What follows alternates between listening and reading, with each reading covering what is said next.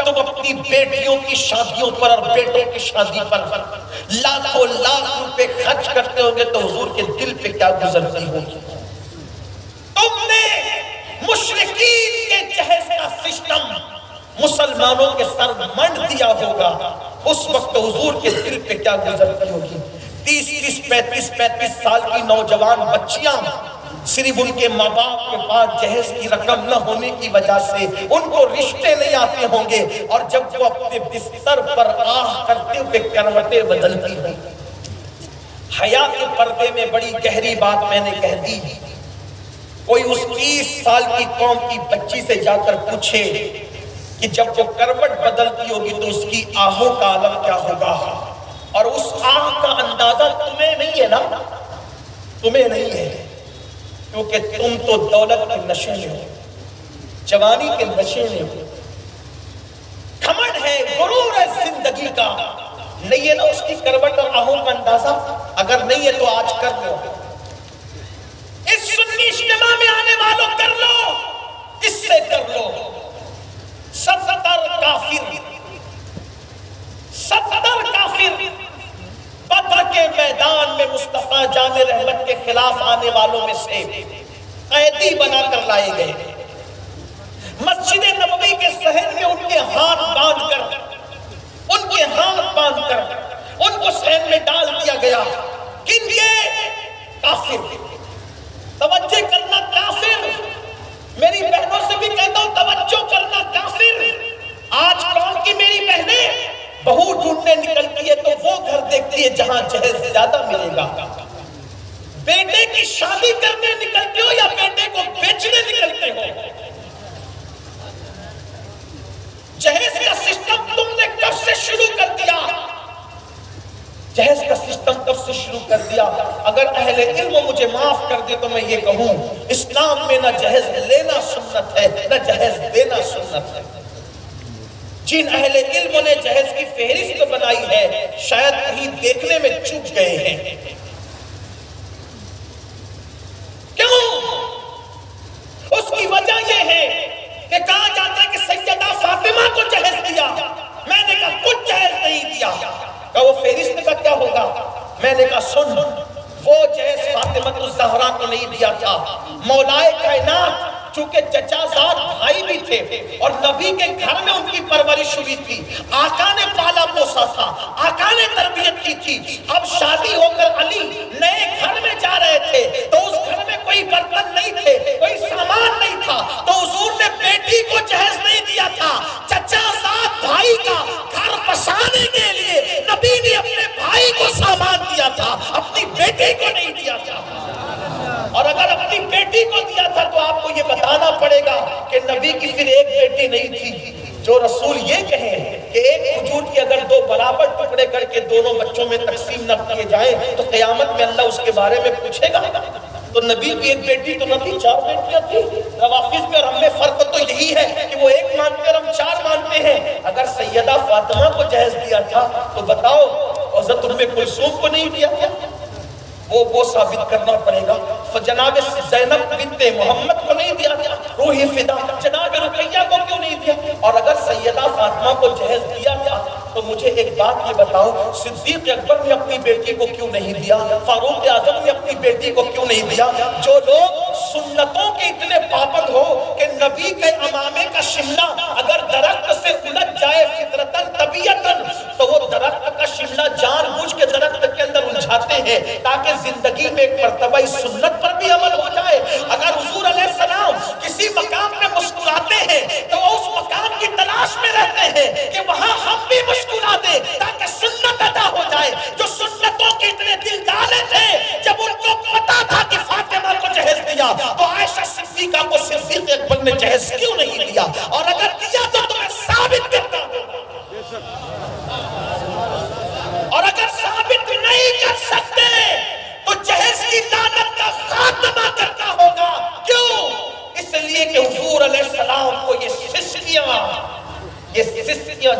बेचैन कर रही है। कौन सी शिष्टियाँ इस इस पैंतीस पैंतीस साल की बच्चियाँ जिनकी शादियाँ नहीं हुई है वो बिस्तरों पे करवट लेके जब आहें करती होगी तो वो हुजूर को कितना बेचैन करती होगी सुन लो। बात खत्म करने लगा हूँ ना? आ रहा आ रहा मक्के के काफिर हुजूर के खिलाफ आए मैदान बद्र में सत्तर कैद हो गए। रस्सियों से बाँध कर डाल दिया गया मस्जिद नबी के सहन में। हुजूर अपने हुजरे में थे। और जब रस्सी से उनके हाथ कस दिए गए तो आका सलाम करवट बदलते बिस्तर पे। और एक वक्त आता है कि बिलाल से कहते, बिलाल पत्र के कैदियों की रस्सी को ढीली कर दो। इनकी आहें मुझे चैन से सोने नहीं देती। जब काफिरों की आहें निकलती है तो नबी बेचैन होते हैं। ये मेरे दिल का दर्द है, मैं कोई खतीब नहीं, ना खिताबत करूँ। नौजवानों से मुखातिब हूँ, जिनकी शादियाँ नहीं हुई, या जो अपने बेटों की शादी करने वाले, उनसे मुखातिब हूँ। जिस नबी की नींद उड़ जाती है, काफिरों की आहों से, जो खिलाफ में आए थे, उनकी आहों से, जो इस्लाम को मिटाने आए थे, उनकी आहों से। बिलाल, इनकी रस्सियाँ ढीली कर दो। इनकी आहें मुझे चैन से सोने नहीं देती। जब कुफार की आहों से हुजूर का चैन जाता है तो जब मेरे हुजूर की उम्मत की बेटियाँ, जिनकी शादी नहीं, जिनको जहेज की वजह से अच्छे रिश्ते नहीं, जिनको गुर्बत की वजह से अच्छे रिश्ते नहीं, जब वो बड़ी उम्र पर पहुँच करके बिस्तर पे आए भरी करवटे लेती होगी तो उस वक्त मेरे हुजूर की बेचैनी का हाल क्या होता हो? उस वक्त मेरे आका की बेकरारी का हाल क्या होता हो? अब हुजूर को खुश करना है, आका का दिल खुश करना है। एक ही बात कहता हूँ, क्या ऐसे जवान नहीं है आपके बुकारों में, या झारखंड में, या चास में?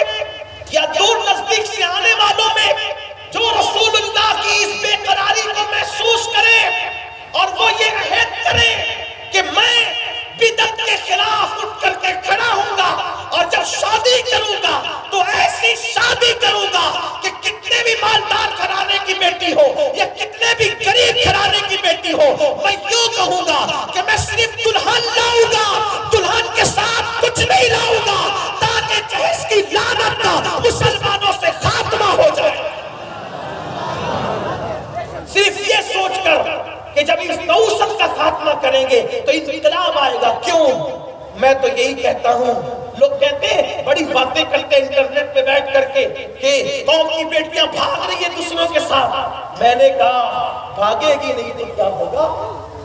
तुमने उनकी शादियों का इंतज़ाम भी किया? दर्द भरी बातें तकरीर में करने से मसले हल नहीं होते।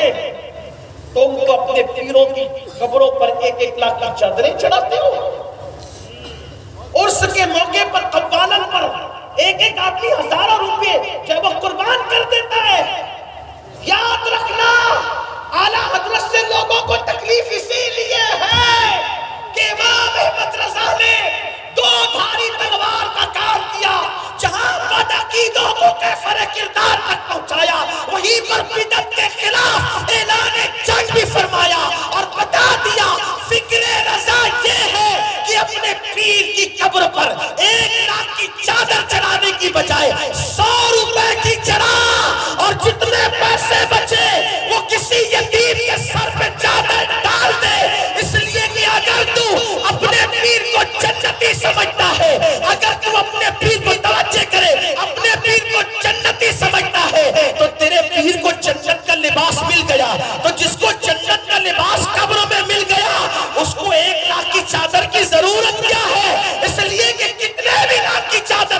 जन्नत के लिबास के बराबर तो नहीं हो सकती। इसलिए पीर को उतनी खुशी एक लाख की चादर से नहीं होगी, जितना किसी यतीम के सर पे वो चादर डालने से होगी, उनकी शादियाँ करने से होगी। लेकिन ये भी कहूँगा, ईमान रखती कहूँगा, उर्स के खर्चे भी कम होने चाहिए। और अगर माफ़ कर दें तो जलसों के खर्चे भी कम होने चाहिए। जिस कौम की बेटियाँ सिग्नलों पे भीख मांगती हो, जिस कौम की बेटियाँ जहेज न होने की वजह से बिस्तरों पे सिस्कियाँ लेती हो, अगर उस कौम के जलसे में एक एक नातखा को पचास पचास हज़ार रुपये दे दिए जाते हैं, सिर्फ़ अपने जलसों को सुपरहिट करने के लिए जो अपनी आवाज़ बेचे, हुजूर उन नातों पर क्या तवज्जो फरमाए? यहाँ सबाने नहीं, यहाँ दिल सादी आवाज़ वाली, सादी आवाज़ वाला, कोई मुखलिस नाथ का ला के खड़ा कर दो। यहाँ से पड़ेगा तुम्हारी महफिल भी वहाँ पहुंचेगी और वो भी वहाँ पहुंचेगा, पहुँचा भी दे। नाथा के लिए आवाज़ की क्या ज़रूरत होती है? बड़ी माजरत के साथ, लेकिन तुम नहीं करोगे मुझे पता है। मेरे जाने के बाद मुझे कौन गाली देगा? मुझे इसका कोई नहीं कोई रंज गम नहीं है, लेकिन इतना ज़रूर कहूँगा, जो कौम एक एक नाटका पर पचास पचास हज़ार रुपए लुटा दे एक एक खतीब को बुलाने पर लाखों लाख रुपया उसके पीछे खर्चा कर दे, और बड़ी माजरत के साथ, बड़ी माजरत के साथ, पड़ोस की बेटी सिस्कियाँ ले रही हो, शादी न होने की वजह से, और हम अपने मशाइक पर लाखों लाख रुपए खर्च करते हैं। तो मैं समझता हूँ कि शायद देने वाला और लेने वाला दोनों मुजरिम होगा। अगर मुझे लोग माफ़ करे या न करे, उनकी मर्ज़ी है, लेकिन खून मुझे हक कहने पे मजबूर करता है। नजरानों का सिस्टम बच्चों की अयाशी के लिए न था। इस्लाम में नजरानों का सिस्टम इस तरह बना था कि मालदार मुरीदों से लेंगे और गरीब मुरीदों को दे देंगे। नजरानों का सिस्टम ये था, लेकिन आज हाल ही हो गया कि इनसे भी लेंगे और इनसे भी लेंगे। अल्लाह अकबर इकबाल ने बहुत खूबसूरत बात कही थी, उसके घर में पीर साहब, वल्लाह, मैं पीरों का मुखालिफ नहीं अल्लाह की कसम खाकर कहता हूँ, ना मेरे जहन में इस वक्त तो कोई शख्सियत है जिसको मैं टारगेट करता हूँ। अगर मैं किसी एक शख्सियत को टारगेट करूँ तो हजूर की शफात से महरूम हो लेकिन लोग कहते हैं कि हम पीरों को गालियाँ हमारे जहन में कोई पीर नहीं हम जनरल बात हम भी पीर रखते हैं, पीर हम भी रखते हैं। और इतनी हकीकत के साथ रखते हैं, जिस दिन से पीर से मुरीद हुए, आज तक पीर का नाम बेवजूद ही जिन मशाइक ने मुझे खिलाफतें दी, खिलाफत पाने के बाद, उन मशाइक का नाम मैंने बेवजूद ही हम इतना अदब करते पीरों का, लेकिन हक तो ज़रूर कहते हैं इसलिए कि हुजूर बेचैन हो रहे हैं ना, हुजूर बेकरार हो रहे उम्मत की बेटियाँ जो गैरों के साथ भाग रही उसका मसाइल का तकरीरें नहीं है। उन बेटियों के रिश्ते करने होंगे, उनको दुल्हन बनाना होगा। हर आदमी निकलता है मालदार देखने के लिए, गरीबों का कौन है? हुजूर गरीबों में थे, गरीबों के लिए थे, बल्कि हुजूर दुआ करते थे, अल्लाह, मुझे मिस्कीनों में ज़िंदा रख, मिस्कीनों के साथ रख, मिस्कीनों में उठा। हुजूर की दुआ है कौसे पाक ने पूछा था, अल्लाह, तू कहाँ है, मैं तुझे कहाँ ढूंढूं? तो इरशाद हुआ था, अब्दुल कादिर, मुझे गरीबों के दरमियान ढूंढ ले तो मुझे वहीं पे पा ले है कोई गरीबों का पुरसान हाल किसी आज मुसलमानों में दौलत आती है तो वो इलेक्शन लड़ने का सोचता है, चाहे उसकी औकात ही कुछ ना हो।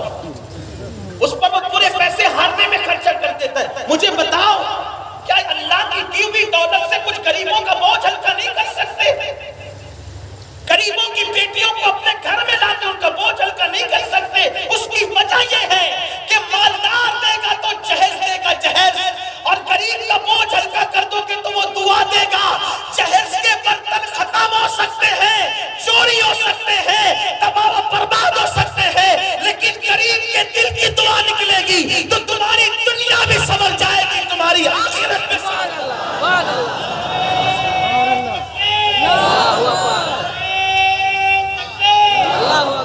इसलिए खुदा के लिए खुदा के लिए जलसों के खराजात कम करो शादियों के खराजात कम करो आरास के खराजात कम करो हमारे मशाइख महारेरा ने ऐलान किया कि हमारे बाप दादाओं की हमारे जो मशाइख महारायरा हैं जो आला हज़रत का भी पीर खाना हमारा भी पीर खाना उन्होंने ऐलान किया कि हमारे बाप दादाओं की कब्रों पर फूल चढ़ाने की बजाय थोड़े चढ़ाओ और उसमें जो पैसे बच जाए किताबें खरीदो और जा करके अपने ओलमा को किताबें दो।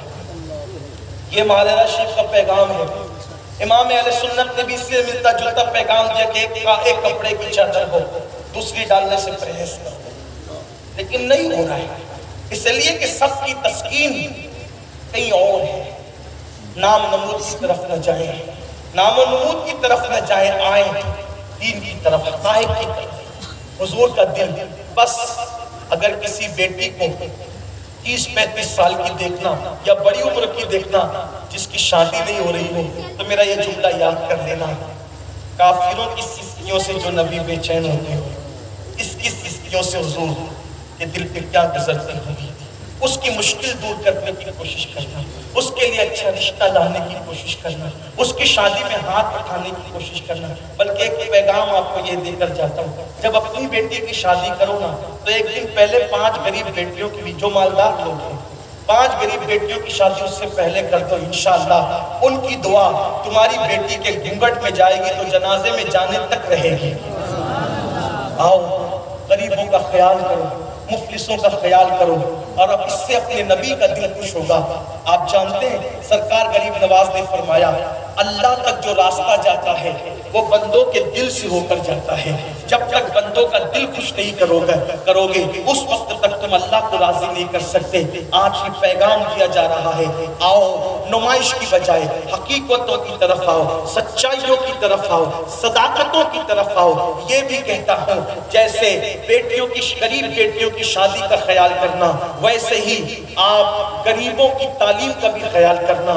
ये ज़मीन आपकी, झारखंड की ज़मीन, बड़े जहीन बच्चों की ज़मीन है। लेकिन गिरबत की वजह से जो पढ़ नहीं पा रहे हैं, कुछ लोग अपने जिम्मे पे ले लें और इनको आला तालीम दिलवाएँ। इसलिए कि एक बच्चे को पढ़ा करके तुम आला तालीम दिलवाओगे, वो एक बच्चा अपनी पूरी कौम को ऊपर उठाने के लिए काफ़ी होगा।